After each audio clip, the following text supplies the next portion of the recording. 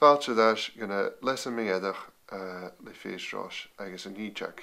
A sin dal e na lesinga seo le porst agus a sin dal chud a pys i a dúnsaach sin na cuts, na strikes agus na rós ula an tanún forst. Ach mar misdéanse sin mar tá setá si a sin dal a dhéanú suasas a sias a scéal didach a tlaich na rós.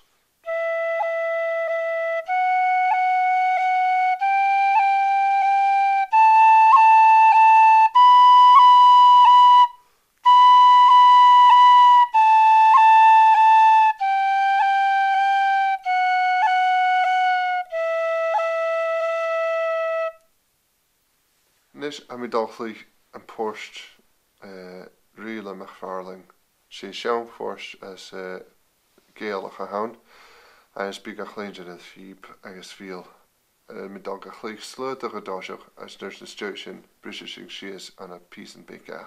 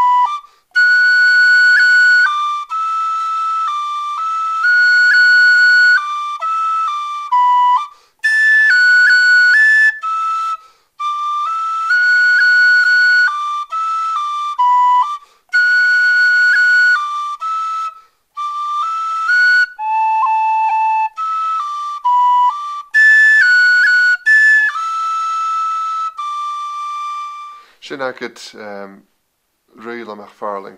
Yn eisiau sy'n sy'n dal lé gach frées agus is sin dal kainted cyn sidingút ar an árachu sy'n ei enw rippéig stoch uh, sy'n eich.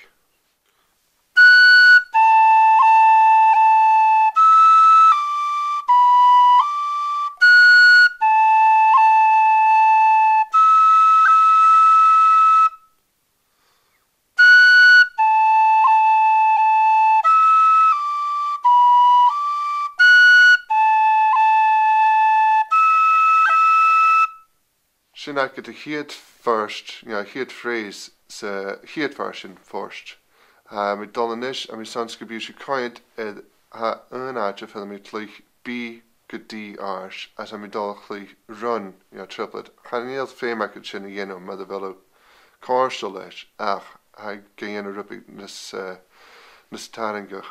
Kuteach ar mi miadach an i ars da hakam a mi kud cut an son da i a chluich a spiú galléin na ysbyw ddysg mé díiste.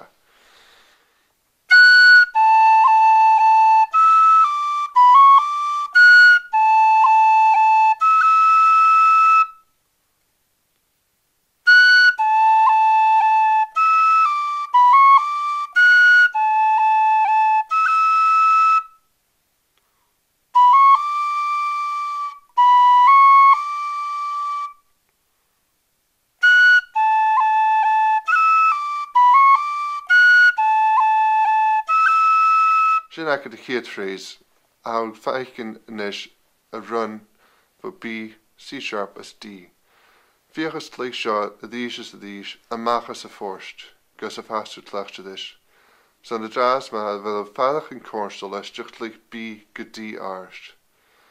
Tá feiccin cuiteach ag ag deadach a frééis pe am plé a cut an san í e, ag fuam gomana sead na a ha rubbeig na slóia. nó de hacóir se lei seo luas a de dúirs gine darna fríd.